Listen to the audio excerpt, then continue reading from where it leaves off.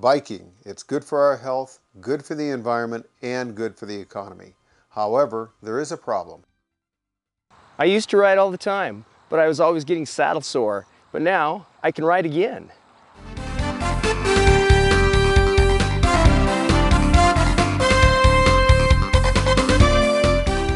Dr. Schrader, a prominent biologist with the National Institute for Occupational Safety and Health, found in groundbreaking research the hazards of bike riding.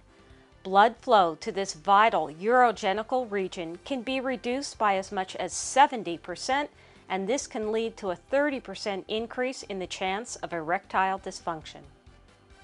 Dr. Schrader went on to state we need effective strategies based on sound ergonomic and urogenital physiological principles to reduce the risk of damage from bike riding. And now, here is the solution. This is a better seat. Carbon fiber supports the riding platform acting as a shock absorber, dampening and smoothing road shock, supporting your weight evenly. The top riding platform, made from composite material, is shaped to match body anatomy, providing a stable but flexible surface. This just makes sense.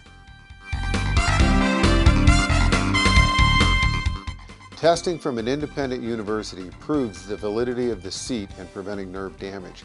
These images show even disbursement of the rider's weight. Riders are sharing the news.